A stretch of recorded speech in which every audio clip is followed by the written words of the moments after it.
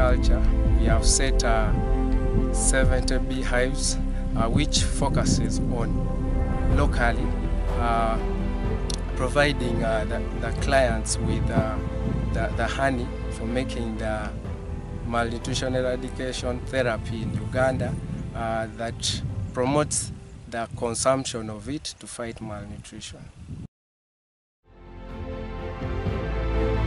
Earth is going to community. And with this beekeeping, obviously they will help them in improving their livelihoods. So this is an area that we're doing a joint program. They're happy to, uh, to give us medicine for treating malnutrition. That is by using garden. That is the treatment for malnutrition. We are going to make forest for the malnourished children so that they don't become malnourished anymore.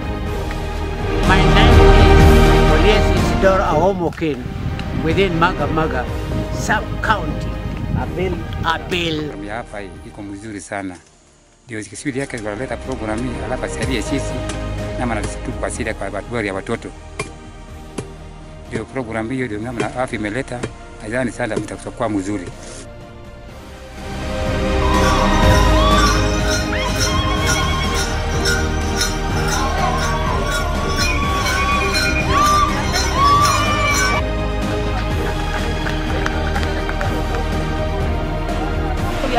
Diversifying their diet. We expect these mothers generate this income, they'll be able to purchase other nutritious foods at home.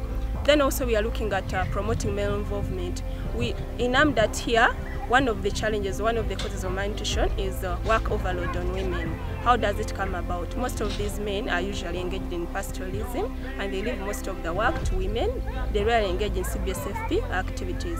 So we realize that honey or uh, beekeeping is an economic activity that men in Amudat engage in actively. So it's the reason we are promoting it in this parish and this district.